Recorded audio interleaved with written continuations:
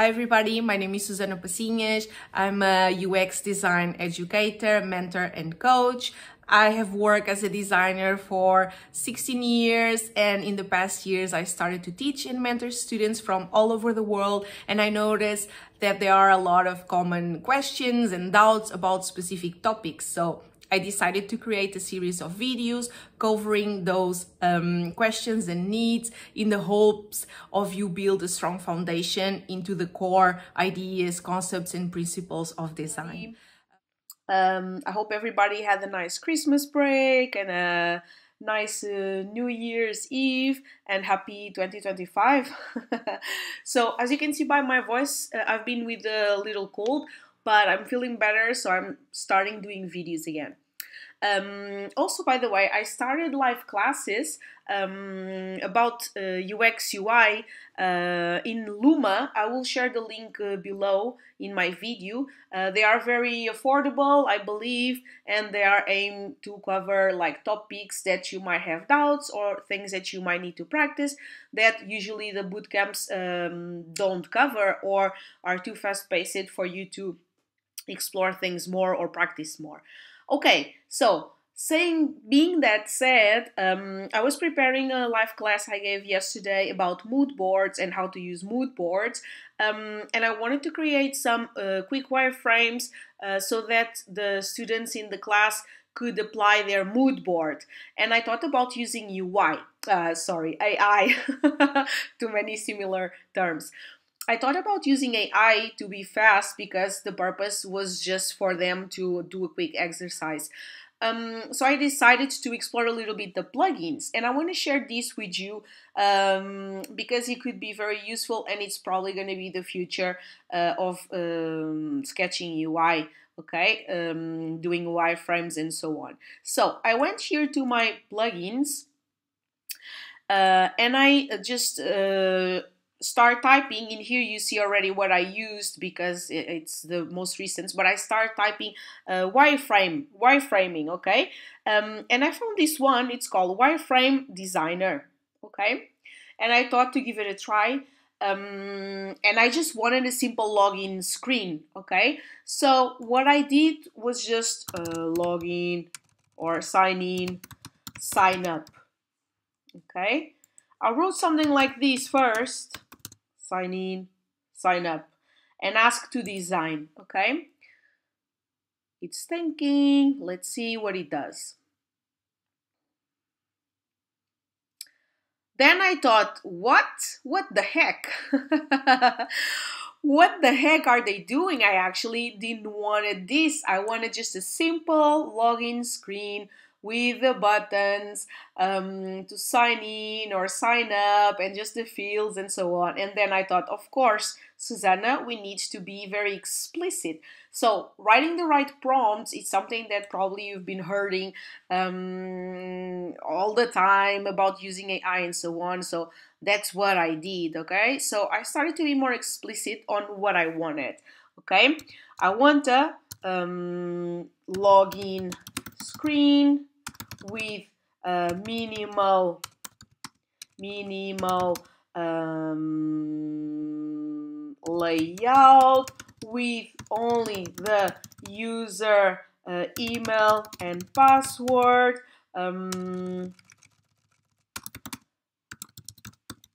and password oh my god I don't know why I'm writing I, I wonder if I write with errors if it still does the same thing we will try next login with minimal layout with the only with only the user email and password, text, field, and the um, buttons to sign in and sign up. I'm to copy so I write with errors next so we see if it still draws the same thing. Okay, so I'm detailed about what I want. I just wanted a simple screen with all these fields uh, and let's ask it.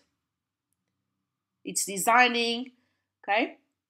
and now yes it designed what i wanted okay um, also very interesting that i saw was that it designed let's move it here with auto layout already and this was amazing because auto layout is something that i see everybody struggling not only juniors but seniors as well. Um, especially for people that are starting is like something that they get super uh, trapped into it. And actually i feel it's kind of limiting a little bit creativity because people start putting auto layout uh, right away and so on. Well nevertheless uh, perfect you can always break it apart okay? Uh, let's give it another try exploring here this tool okay? This is free i didn't pay anything but if you see here there's five designs left so probably you need to pay to do more um, and of course no right? People that do these things um, they they need to leave as well right? So let's see if we write with errors if it's still uh, does something yeah? Let's see or if it gets confused. Just for us to try it okay? This is also an experimentation with you guys. Well it's yeah i mean sign because i said to sign in and sign okay? But pretty much it's okay. It still did it with a little bit of error so that's cool. Let's use the four designs left okay to explore other screens. So let's continue iterating on this login screen. I'm going to go back and add this but i want to see that probably it uses like um, it's more spread out or now I want to add it uh, the social media login tools okay? Add the social media login uh, tools and spread out the content vertically okay so the thing is you if you are starting as a designer it might be harder for you to visualize things to write the right prompts.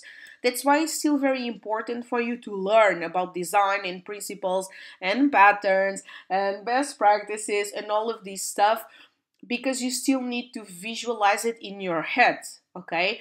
So writing a prompt that works it's only possible if you know what you are doing okay? I always uh, think that or my what I think now about AI is that for people that have the training or they they they they lived in the pre AI or they were studying or educated in the pre AI era, they have this ability of um, thinking abstractly about things. They know what they want to do or how things are done.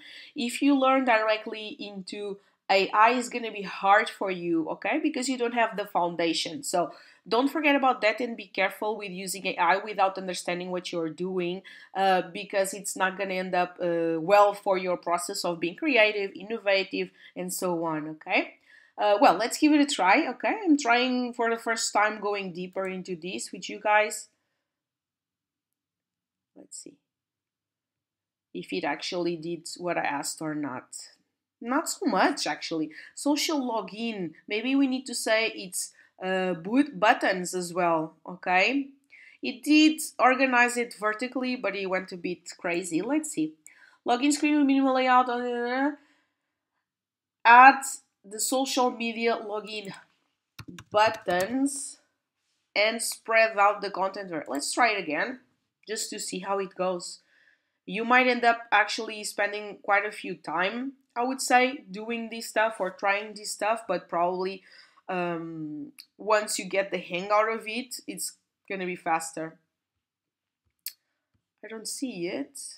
Maybe it's on top of this. Or it did the same thing. Aha, it did the same thing. So let's be a bit more specific. Login screen with minimal layout with only the user email and password text field and the buttons to sign in.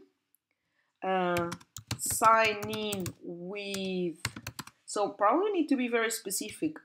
Google sign in with um, facebook sign in with um, let's leave it like this okay? I don't remember anymore. And sign up and sign up distribute the elements um, vertically. Let's see what it does. If it does what I have in my brain, in my mind. Yes, it did. Okay, we really need to be very specific. This is a very nice um, exploration.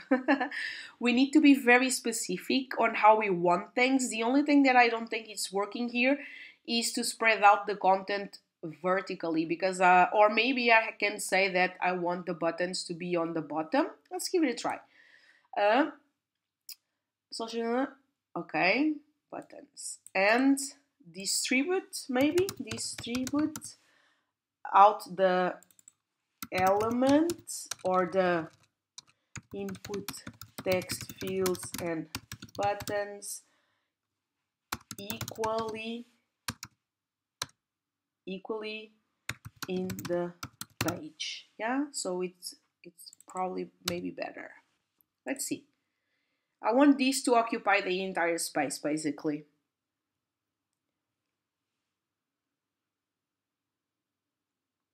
Mm, not what I wanted to do. I guess that's a there. There's a lot of uh, try, no, error and try. We don't have any more uh, trials left, but I guess the next thing I would try would be so I would be okay with this page, but I would need to find um, a way. Probably I would just say the sign in and sign up buttons are aligned to the bottom, for example and the email and the password are or everything is aligned to the center vertically. Probably that would be what I needed to say. Very interesting to using AI to build your screens. I can see how this could be fast, but also probably there's a learning curve um, to master the prompts and how to use the tool to do exactly what you want. So this is really time uh, saving. Nevertheless, even if you do these tryouts, it might end up being faster in the long run. Uh, but for now, uh, I the time I took doing this, I could have designed this page myself. So I guess uh, it's useful if you master it. That's my learning here. So thank you for joining. I hope you like this content. Today a little bit more exploratory, but I still think it's cool to check this stuff um, with you guys because uh, this is where we are going, um, walking towards, right? Um, bye. See you soon. Thank you for watching. I hope this video helped you clarify a little bit uh, your doubts about this topic. Don't forget to subscribe to my channel. You can also follow me on uh, Instagram at UXUI with Susana Passinhas. Feel free to connect with me on LinkedIn as well. It's Susana Passinhas. You can check my services. I have mentorships and programs specially tailored for junior designers, okay? At www.susanapassinhas.com. I leave all the information uh, below. Thank you. Bye.